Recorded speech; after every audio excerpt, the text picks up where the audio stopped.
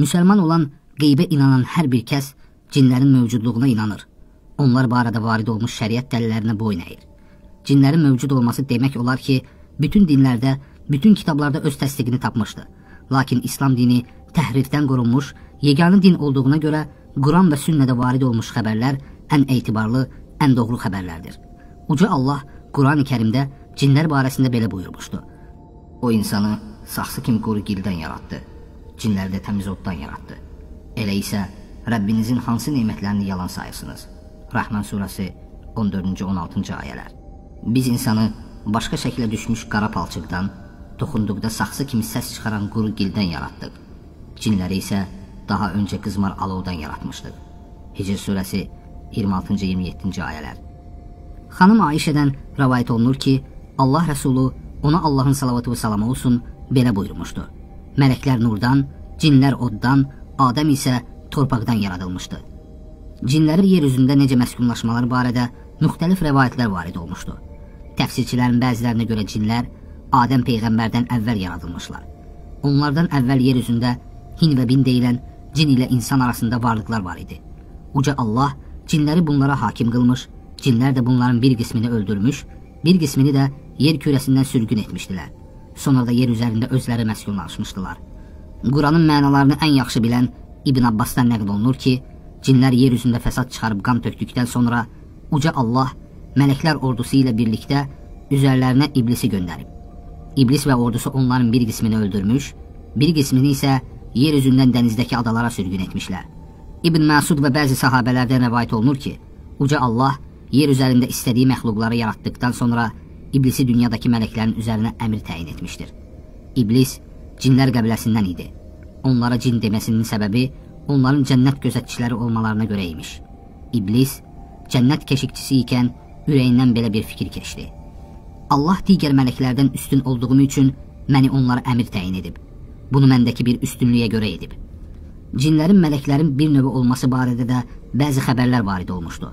Peyğəmbərimizin ona Allahın salavatı və salamı olsun, əmisi oğlu İbn Abbas söyləmişdir ki, günah işləmədən əvvəl iblisin adı Əzazil idi və yer üzündə yaşayırdı.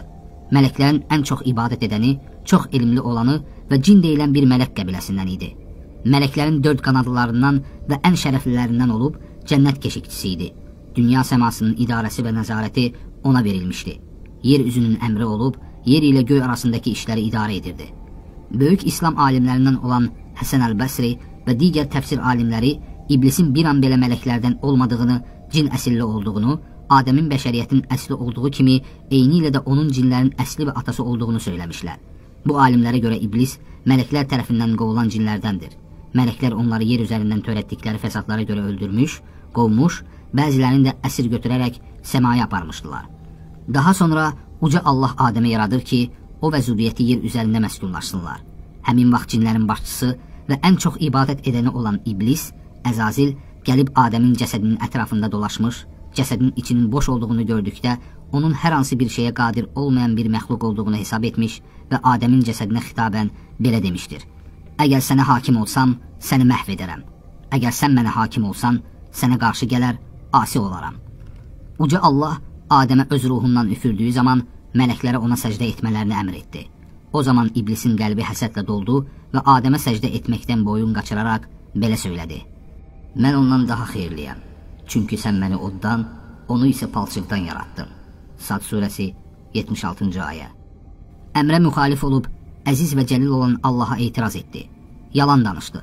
Təkəbbürlük göstərdi və buna görə də Rəbbinin rəhmətindən uzaqlaşdırıldı etdiyi ibadətlərlə yüksəlmiş olduğu mərtəbəsindən düşdü və hər şeyi puç etdi. Doğru görüş odur ki, iblis mələklərə bənzəsə də onların cinsindən deyildi. Çünki o oddan, mələklər isə nurdan yaradılmışdı. Ən çox ehtiyacı olduğu bir anda təbiəti yaradılışı özünə xəyanət etdi, yaradılış maddəsi olan od kimi davrandı. Bu barədə uca Allah belə buyurmuşdu. Bir zaman biz mələklərə Adəmə səcdə edin demişdik. İblisdən başqa hamısı səcdə etdi. İblis cinlərdən idi. O Rəbbinin əmrinə boyun əymədi. Onlar sizin düşməniniz olduğu halda siz məni qoyub onu və onun nəslini özünüzə dostmu tutursunuz? Zalımlar üçün bu necə də yaratmaz mübadilədir. Kəf surəsi 50-ci ayə. Bir zaman sənin Rəbbin mələklərə belə demişdi. Mən palçıqdan bir insan yaradacağam. Mən ona surət verib öz ruhumdan üfürdüyüm zaman ona səcdə edin. Mələklərin hamısı birlikdə səcdə etdi. Yalnız iblisdən başqa. O təkəbbürlük göstərdi və kafirlərdən oldu. Allah dedi: "Ey iblis, sənə mənim iki əlimlə yaratdığıma səcdə etməyə mane olan nə idi? Təkəbbürlük göstərdin. Böyüklərdənmi olmuşdun?" İblis dedi: "Mən ondan daha xeyirliyəm. Çünki sən məni oddan, onu isə palçıqdan yaratdın." Allah dedi: "Çıx oradan. Sən artıq rəhmətimdən qovulmusan." Haqq hesab gününə qədər lənətim sənin üzərində olacaqdır. İblis dedi: "Ey Rəbbim, onlar dirildəcəkləri günə qədər mənə möhlət ver."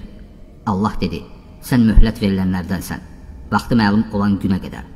İblis dedi: "Sənin qüdrətinə and olsun ki, onların hamısını yoldan çıxaracağam. Təkcə sənin seçilmiş ixlaslı qullarından başqa." Allah dedi: "Budur haqq. Mən yalnız haqqı deyirəm. Mən cəhənnəmi səninlə və sənə tabe olanların hamısı ilə dolduracağam." Sad surəsi 71-ci 85-ci ayələr. Böyük alim Həsən Əl-Basri demişdir ki, iblis özünün oddan, Adəmin isə gildən yaradıldığını və buna görə də ondan üstün olduğunu deyərək özünü onunla müqayisə etdi. Dəlilə qarşı ilk qiyas edən də o olmuşdu. Əgər qiyas açıq-aydın qəti dəlilə əmrə ziddirsə, keçərsizdir. Qaldı ki, onun bu müqayisəsi isə özlüyündə yanlış və keçərsiz bir müqayisə idi. Çünki torpaq atəşdən daha yararlı və daha üstündür. Ona görə ki, palçıqda, torpaqda durğunluq, yumşaqlıq, ağırlıq və məhsuldarlıq vardır. Atəşdə isə sərtlik, müvazinətsizlik, tələskənlik və yandırma vardır. Beləliklə iblis bütün körpüləri yandıraraq Rəbbinin yanındakı məqamından düşdü və cənnətdən qovuldu. Allah ona orada yaşamağı qadağan etdi. Bu səbəblə lənətlənmiş, alçalmış, qovulmuş oldu və yer üzünə indi. Özü və zürriyyəti Adəmə və onun zürriyyətinə düşmən kəsildi. O daim Adəm övladlarını hər cür hilə ilə azdırmağa və yoldan çıxarmağa çalışır. Uca Allah bu barədə belə buyurmuşdu. İblis dedi: "Məndən üstün tutduğuna bir bax. Əgər qiyamət gününə qədər mənə möhlət versən, az bir qismindən başqa onun bütün nəslini özünə ram edəcəyəm." Allah buyurdu: "Çıx get.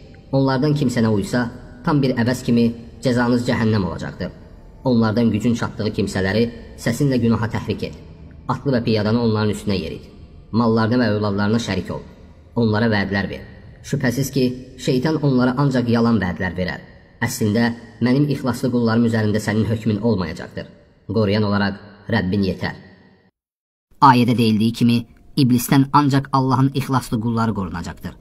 İxlaslı qulluq sözünün mənası isə qulluğu, yəni ibadəti xalis olaraq Allaha yönəltmək, ibadətdə, duada heç nəyi Allaha ortaq şərik qoşmamaq, Allahın əmr və qadağalarını öz nəfsi istəklərindən belə üstün tutmaqdır. İxlaslı qullardan başqa bütün insanlar iblisin və şeytan cinlərinin hökmünə düşəcək. Onlara qul olacaq və qorunmalı olduğu düşmənlərinin əsrinə çevriləcəkdir. Ey Adəm övladları, məgər mən sizə buyurmadımmı ki, şeytana ibadət etməyin. O sizin açıq aydın düşməninizdir. Yasin surəsi 60-cı ayə.